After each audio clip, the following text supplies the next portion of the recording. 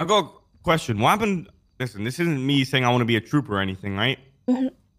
But remember, there used to be a trooper ranger. What happened? Can I be a trooper ranger? I never really approved of that as a concept. Oh shit! Would you approve of it? Personally, no, I think it's kind of silly. Fair enough. Fair enough.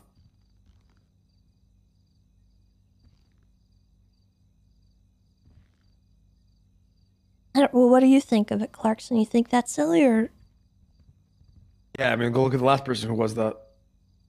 Who even was that? I never heard of that.